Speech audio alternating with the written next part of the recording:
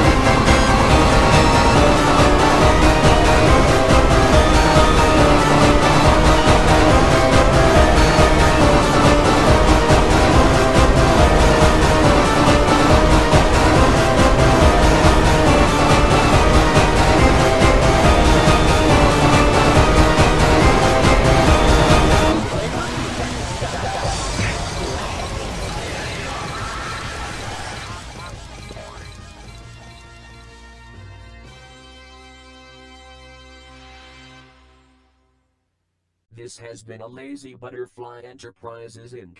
production.